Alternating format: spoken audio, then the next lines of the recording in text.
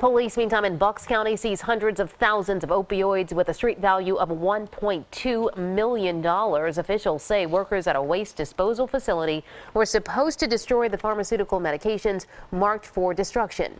Instead, officials say the employees at the Wheelabrator Falls facility smuggled the pills to drug dealers in Philadelphia, Bucks County, and New Jersey. Police say they recovered about 200,000 illegal pills and have a warning for other waste facilities out there. These half a dozen gentlemen from Bucks County aren't the brains of drug dealing all throughout the United States.